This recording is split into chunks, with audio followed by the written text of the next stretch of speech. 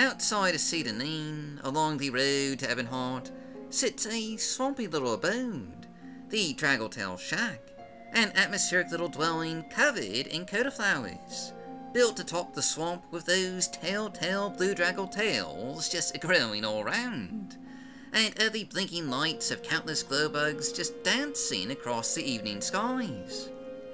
A rustic setting with a view of the sea and the cities of Vivec and Ebonheart, this beautiful, breathtaking shack is a yet another mod by Katya Karrel.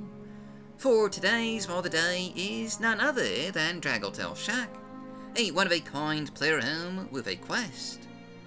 Outside of this scenic abode, uh, you'll find the previous owner, apparently just planning to travel, and are ready to sell this unique little home for the low, low price of 1500 gold.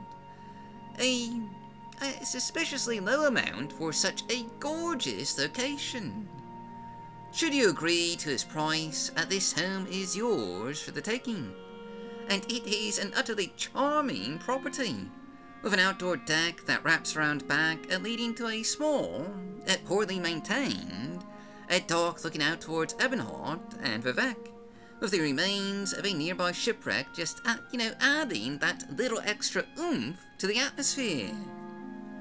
Also out back, uh, you'll find a few places to sit and admire the view an outdoor table to use as a workbench, and above it all is a lovely covered balcony, with a hammock where you can rest with a view of the beautiful outdoors, a little dining nook, and just lots of lovely potted flowers. Combined with Graht Morrowind swamp trees and the atmospheric blue glow of the regional glowbugs, this is a truly magical location. The perfect swampy abode ideal for a rustic hermit, a hedge wizard, a would-be fisherman, or perhaps an alchemist. Heading inside, you'll find just an equally lavish, detailed, and atmospheric abode, every bit as dripping in rustic charm as the exterior, with plenty of storage for you to use, a lovely hanging potted plants, a central fire pit for cooking, and a little lounge where you can rest and relax. And there's a writing nook and shelves to store just uh, whatever items that you might have. And uh, while this is just a very clearly not a large player home, it is still just absolutely gorgeous. But uh, going upstairs, uh, you'll find the cause of the previous owner's sudden departure. For apparently a dreaded banshee lurks in the shadows, a fiend that you'll have to defeat before properly claiming this abode as your own. But uh, once you do, uh, this mesmerizingly atmospheric and captivating home by the sea is all yours to enjoy.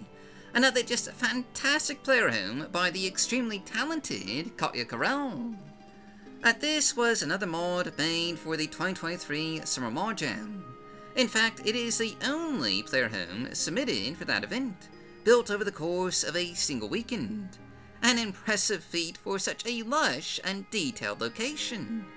I, I definitely recommend it if you're looking for just a charming new abode.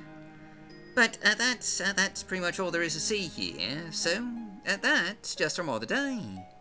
As always, uh, I've been your host, Golf Guy. Uh, thanks for watching. Stay safe, stay healthy, happy modding, and I'll just, I'll uh, see you all next time.